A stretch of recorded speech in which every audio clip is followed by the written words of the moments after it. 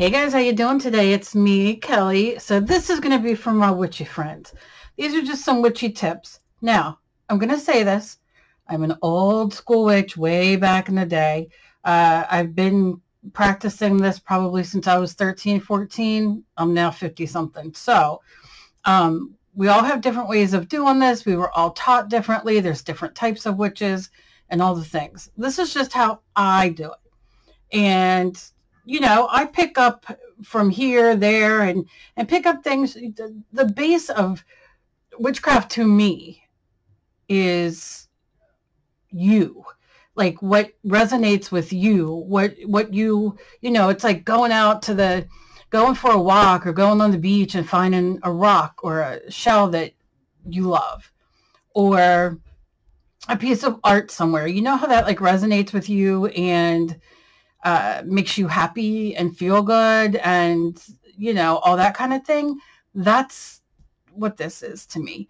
Um of course i don't wiggle my nose and you know walk around with the wand and poof and and all that kind of stuff. That's not what it is. Uh, it's a lot of intention. It's a lot of um, good, positive energy, or maybe you know you somebody is doing you dirty, and you know whatever. Um, that's a thing for another day. But like, so everybody's different. So please don't don't write me and give me all the cramp. I don't really care. This is how I do it, and I've been asked this a lot, so I'm gonna start. Quit boring you with all my details. Okay, one of the biggest questions I get is candle magic. And candle magic is wonderful, but you can use so many different candles.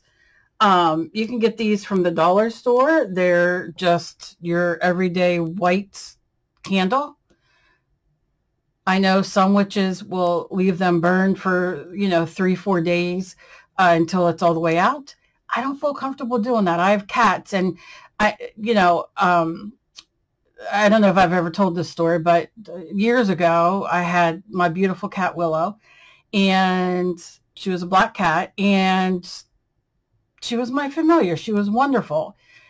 And she jumped up where I had a wax melter that was melting wax. And it poured all over her. And the sound that came from this poor animal, and she hid up in our ceiling downstairs. We have like a dropped ceiling kind of thing she hid in there for days and days and days. My husband had to finally crawl in, take all the things down. It was horrible. She was a mess. Um, but she survived. Her hair never grew back on the one side, but that's okay. Um, so I never leave these lit without me. I never do wax melt um, unless I'm around or leave these burned for that reason. But these are fantastic. This is a um, one that has a uh, St. Jude on it, but you can just get them plain. I get white and I get black. Sometimes they have pink, but the deal is with these at the Dollar Tree is you have to make sure that they're painted all, that they're the color all the way through. And I don't have, do I have, let me see if I have it over here. Ugh. Yeah, here's my black one. And if you turn it over, you can see it's black all the way through. Sometimes when you go uh, look at the candles, you'll see like the color of the candle, like let's say pink, and then inside here's white. So that's how you know the candle's not all the way through. Uh, so I do, that's one thing I do like to do is make sure that, I mean, any candle will work, but I usually substitute white for any other color that I don't have. But that's completely preference. That's up to you. But something that I do, and I'm going to tell you, uh, is, and you're going to see this, and people, you know, you do as you choose. You can get these from the Dollar Tree, and obviously we have birthday candles. But something I do is a magic trick, and I make it fly. Something I do is I break them in half, and then I will carve out. You could see I melted some of the wax away from that and these become my candles. I have little uh, pieces of clay that I will set. So I could set this in, right? So it stands. Uh, you can use, I mean, I'm, I do art and all that kind of stuff. So, so I have gummy erasers sitting around and I will take my, let's see, back of my paintbrush sticker in there. And do my deed, do my spell, do whatever. And now I can sit here.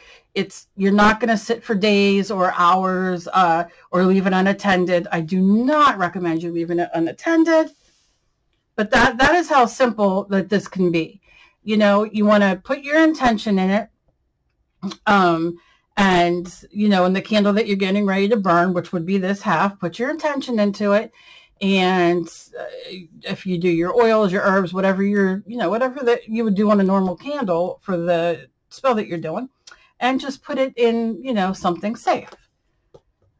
Now, these are bigger. These are, they're five hours, but let's say sometimes outside you want to do a spell on your deck and, you know, these will be great. You know that approximately five hours, you can, um, this will be burnt, uh, burned down. You can carve, and this isn't any candle, but you can carve in. And let me show you. There's so many things you can carve in, but I love they. I got these from Temu. I'm like obsessed with Temu. And it's a razor, a, what, what's it called? Like a little knife.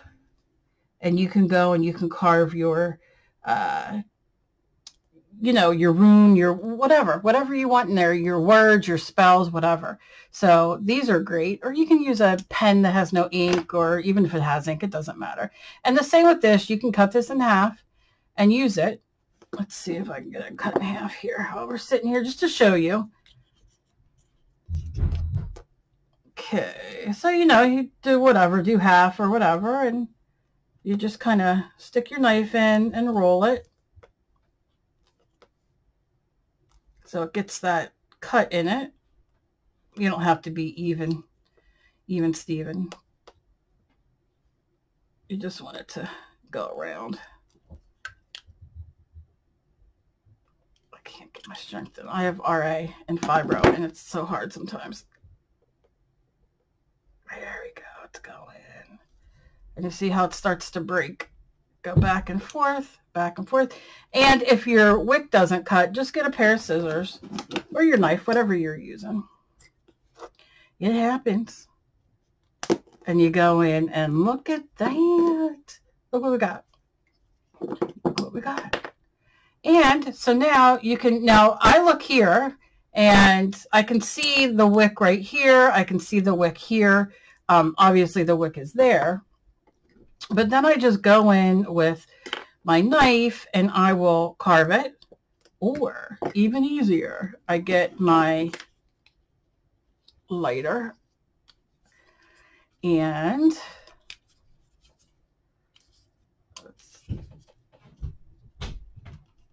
my hands today do not want to work. And I will just melt it.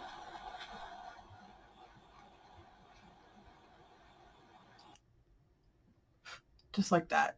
And now you have your wick. So there are, you know, so many things. The dollar store has so many. And look, see that wax? You could do that and you can stick your ca your candle in here, camera.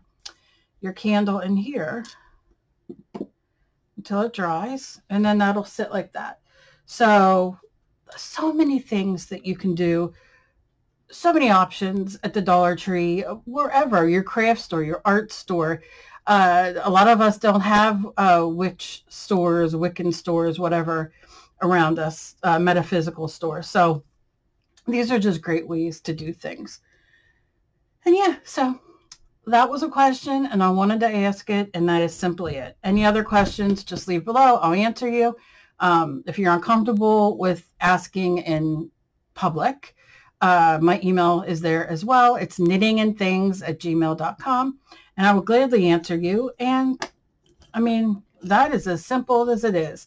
Uh, the next thing I will do, uh, the next video will be dressing the candle, which like I showed you, either carving in or putting your oil and herbs or things to help intensify that spell. Um, and that is a green candle I use, which I'll bring in from my other room where I do my money spells or things like that. So I'll talk to you about that in the next video.